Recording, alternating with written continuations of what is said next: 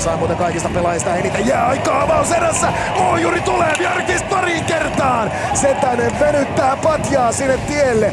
Ja siitä ei Björkis saa kiekkoa yli nousemaan. Tämä oli hyvä tuo ensin. Järvinen. Ja nyt on sitten Joakim Rudin yksin läpi, mutta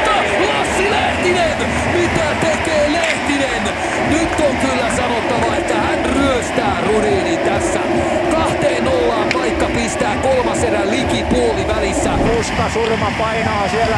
Aikana toisena jokaisen paikka tulee! Ei tule! Ei tule maalia Valtteri Pullilla aivan loisto paikka. Niklas Rubin kuitenkin jälleen Arttu Paaso. Paaso pelaa Rundblad Setänen!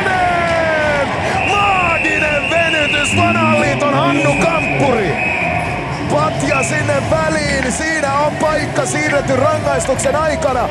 Pistää vielä kiekon ja takaa, yrittää tulla sitä Seppälä sitten pystyyn. Ja nyt on Lukola karikomatka, tuleeko tästä avaus? Ei! Oi, oi, oi, oi, mikä tilanne sieltä. Peliaikaa vähän reilut 20,5 minuuttia, kun tässä vielä uudestaan tuo syöttö tulee. Ja niin kuin näkyy, niin siinä oli vielä ilmiömäinen Taposen torjuntakin. Vaikka Mutin huitoo siinä, niin siitä pääsee Julius Mattila vielä vetämään, mutta Taposelta todella upea.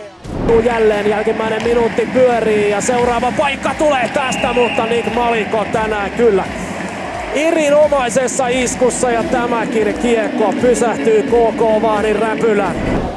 Lappalainen ei pääse kalpa pois omista. Ikka Kangasniemi pääsee katkaisemaan. Paikka! Ja kiekko ei mene maaliin. Robin pystyy tilanteen selvittämään.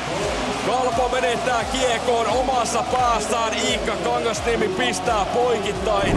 Tuomas Salmela ja siitä vielä keskelle vetopaikkaa. Ja uusi tilanne tulee. Ja Langhammer venyttää. Ja mikä venytys se onkaan. Siinä oli käydä kylmät kyllä.